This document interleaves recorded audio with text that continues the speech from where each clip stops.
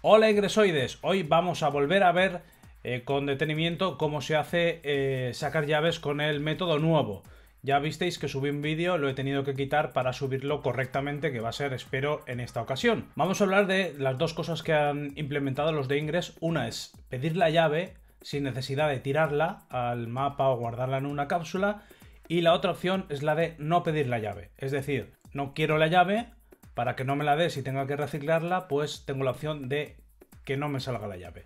¿Cómo podemos hacer las dos opciones? Bueno, te digo que la primera, la de conseguir la llave sí o sí, solo se puede hacer con los glifos, ¿vale? Y la opción de no pedir la llave, o sea, que no te la dé, la puedes hacer desde fuera del portal o haciendo glifos, depende de lo que quieras hacer. Yo te lo explico de las dos maneras. Veamos qué pasa si te acercas al portal, dentro de tu rango de acción siempre, pinchas sobre él, dejas el botón apretado y te aparece hackear normal, por si quieres hacer un hack normal, y abajo hack no key, que significa que no quieres la llave. La otra vez me equivoqué y lo dije mal, pero no pasa nada, esto es así. Vale, hasta aquí la manera de hacer el no key desde fuera. Vamos a entrar en el portal y hacer un hack con glifos. Si no sabes cómo se hace un hack con glifos, aquí te voy a pasar el enlace del hack y ves cómo se hace. De todas maneras, dejas botón apretado y tienes dos opciones. La opción A, que quieres la llave, sin necesidad de tirarla al suelo como te dije en el otro vídeo.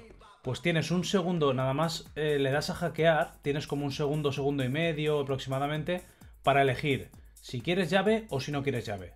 Si quieres llave, tienes que hacer este glifo, que es como una V chiquitita invertida llamado More. En ese momento te sale el, el mensaje de Request Key.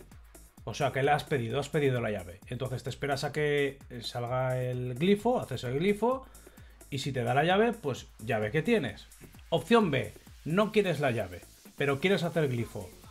Hackeas con glifo y en el segundo y pico que te da para elegir, en lugar de hacer esa V hacia abajo, haces el glifo hacia arriba, que es como una V chiquitita.